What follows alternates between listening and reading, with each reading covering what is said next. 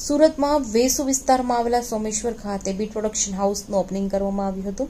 સુરતના ડિરેક્ટર બદનામ બોઈ દ્વારા પ્રોડક્શન હાઉસનું ઓપનિંગ કરવામાં આવ્યું હતું. જોકે પ્રોડક્શનની હાઉસની ઓપનિંગમાં સુરતના જાણીતા મોડલ બ્લોગર અને ઇન્ફ્લુએન્સર સહિતની હસ્તીઓ ઉપસ્થિત રહ્યા હતા.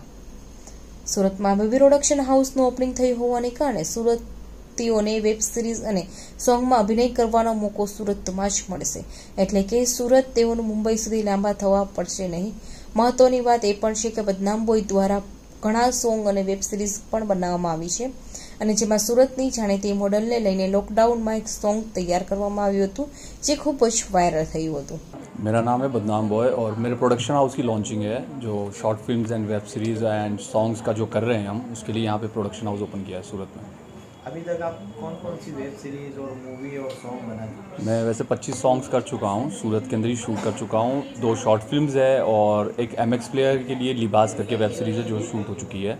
और नेटफ्लिक्स के लिए दो प्रोजेक्ट्स आ रहे हैं मेरे अभी अपकमिंग और एक गुजराती मूवी है और एक हिंदी मूवी का चल रही है बात। सूरत में ही आपने स्टार्ट करने का विचार कैसे आया? सूरत में स्टार्ट करने का विचार ऐसे आया कि कि मैं प्रॉपर सूरत से हूँ और प्लस ये है कि सूरत से कनेक्टिविटी बहुत अच्छी है, मेरी बॉन्डिंग अच्छी है और मेरे यार दोस्त सारे इधर के ही है। एंड सूरत अभी यही फ़ील्ड में बहुत आगे जा रहा है। तो मैं ये चाहता हूँ कि मैं जब अपने शहर को आगे बढ़ाऊँ तो फ़ायदा ज़्यादा है।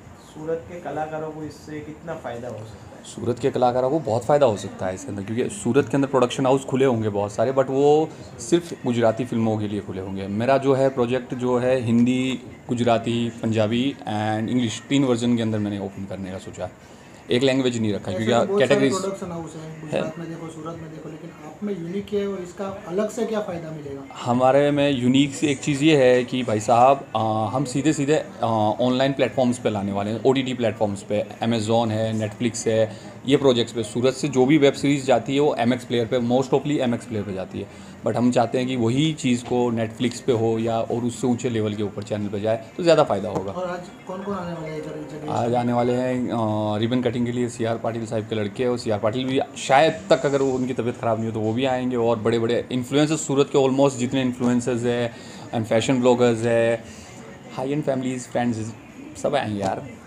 क्या मैसेज दोगे सूरत के कलाकारों को? सूरत के कलाकारों को एक छोटा सा मैसेज बस करते रहो आगे बढ़ते रहो अपने शहर को जो कर सको जितना आगे कर सको उतना फ़ायदा है।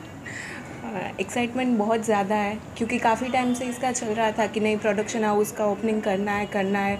और वैसे सूरत में काफ़ी सारे हैं ऐसा नहीं है बट बोलते ना एक प्रोफेशनल लेवल पे कि जहाँ से कास्टिंग हो मूवी हो या कोई भी प्रोजेक्ट हो ऑन फ्लोर नहीं जाता था कुछ भी। तो this is the best platform